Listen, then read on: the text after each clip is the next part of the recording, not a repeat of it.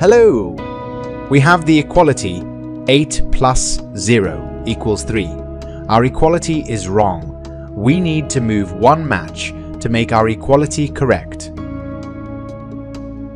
This is a pretty simple math problem that both children and adults have no problem coping with. Those who are good logical thinkers have no problem coping with the solution to this task. So pause the video and think. When you find the correct solution to this problem, you can continue watching this video to make sure that correctly coped with the task. We need to move one match to make our equality correct. How this puzzle is solved.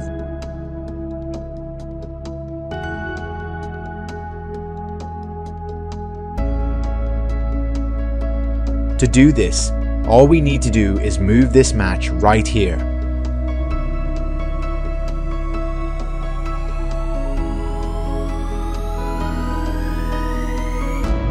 Now when we check the condition, 9 plus 0 is 9, and 9 equals 9, now our equality is correct. The task is done and the puzzle is solved. Subscribe to our channel and be sure to write in the comments whether you managed to solve the puzzle or not.